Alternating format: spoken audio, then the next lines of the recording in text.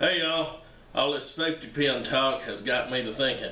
So, I got me one.